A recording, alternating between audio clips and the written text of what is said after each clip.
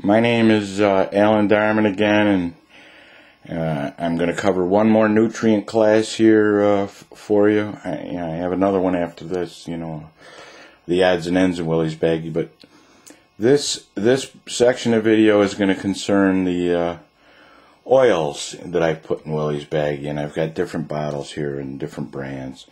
Essentially, I've got six different oils or reflected here if you you know discount the doubles. And what I did is uh, I knew that vitamins, uh, you know, there's a whole range of vitamins that, that are necessary for human health. There's a whole range of minerals that are necessary for human health. There's a whole range of amino acids that are necessary for human health.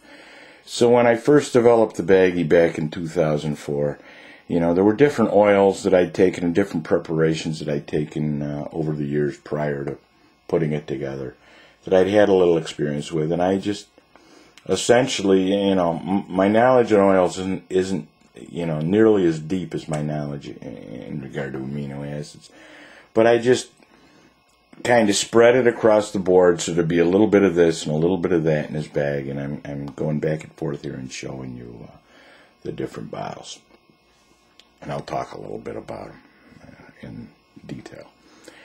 And uh, it seems to work.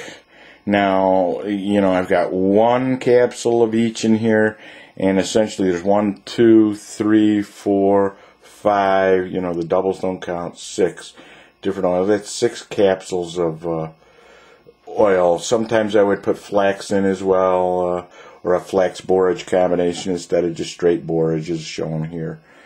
But essentially, I'm just putting a little of this and a little of that. Uh, nothing is in excess here, you know.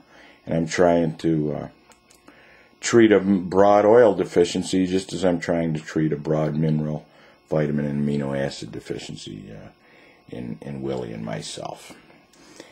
And I'll go one at a time here. We'll start with coconut oil. This particular bottle uh, of coconut oil I got from uh, iHerb off the net. Most of the coconut oil and and iHerb is a fairly new source for me. Uh, you know, most of the uh, baggies that I've made up for Willy since 2004, the I just went to Syracuse uh, to Natur-Tyme and would pay retail because I didn't have a credit card and it was just easier. And you know, they carry a different brand of uh, coconut oil, but they come in soft gels. I put one in a baggie. Uh, both m- me and Willy found that if we had two in a baggie, and, and, and we both had the same odd reaction to coconut oil, that we would get up in the middle of the night and be excessively warm. You know, we'd feel like flushed, like a, like you know, our body, like we, you know, it was like a temporary fever. So uh, you know, but coconut oil is is uh, you know, coconut's considered a superfood. You know, it's got medium chain or short chain uh, fatty acids that are you know important to health. It's uh, got you know coconut is the source for caprylic acid, which is a common candida fighter. You know, coconut is thyroid helpful. You know, if you is gut helpful. It's you know I just felt that this was a wise addition. You know that you know my son would benefit from a little coconut because I had benefited from a little coconut. So I, again, I put one one capsule in a bag. And this bottle, and, and coconut oil does need to be uh, kept in the refrigerator. There might be a warning in here. You know, after opening, put in the refrigerator. There's 120 soft gels in here. But uh, Willy's got coconut oil in the refrigerator at home. This particular bottle is mine, and I keep it in. It's the only thing that uh, you know I, I feel the need for refrigeration. Okay. The next here is this is this is a, a broad-based oil blend. Both of these, they both had a little omega three, a little omega six, and a little omega nine in, in in in each of these.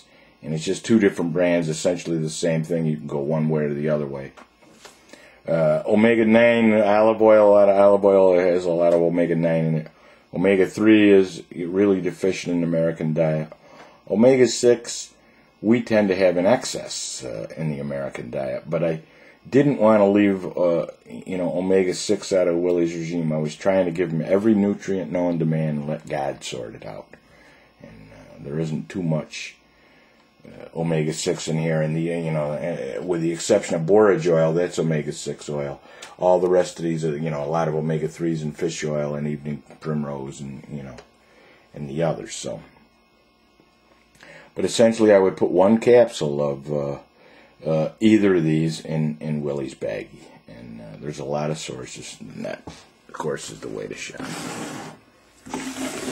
Evening primrose oil. You might not be able to see this because of the labeling. Uh, and this is Evening Primrose Deluxe. And I'll just show you the label a little bit here. It's got, uh, you know, just so you can see the different things. I felt, you know, when I was supplementing, uh, you know, different supplements and trying to sort things out in the uh, late 90s, I remember at one point I took evening primrose oil and I said, this stuff is helpful to me. I, I could clearly feel a positive effect from this. Uh, you know, versus taking, let's say, even, uh, you know, fish oil. I, you know, there was something in this that was helpful. So, you know, I put it in Willy's baggie. I take it myself in, in, in Willy's baggie because I, you know, I take the same thing or very similar to what he does. I, I think this, if, you know, if you're going to put oils together, this is a wise addition to uh, any kind of broad-based oil regime. And, you know, if you can afford it. If you can't afford it, you know, you could reduce the oils and maybe just use some fish oil or some cod liver oil or some coconut oil.